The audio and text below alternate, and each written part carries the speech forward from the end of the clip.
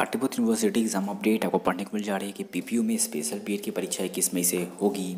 पर पढ़े पढ़ने को मिल जा रहा है कि निर्देश दो साल से लंबित वार्षिक परीक्षा की तिथि घोषित तो अठारह से बीस की तीन सौ एट्टी फोर छात्रों की होनी है परीक्षा। पाटलिपुत्र यूनिवर्सिटी में दो साल से लंबित बी की वार्षिक परीक्षा की तिथि घोषित कर दी गई है। सब दो हज़ार अठारह से बीस की रुकी हुई थी। हाईकोर्ट और राजभवन के आदेश के बाद एक बार फिर से विश्वविद्यालय की ओर से स्पेशल केस के तौर पर परीक्षा ली जाएगी। थ्री छात्रों की परीक्षा होनी है। इस परीक्षा इक्कीस मई से ही उनतीस मई तक होगी।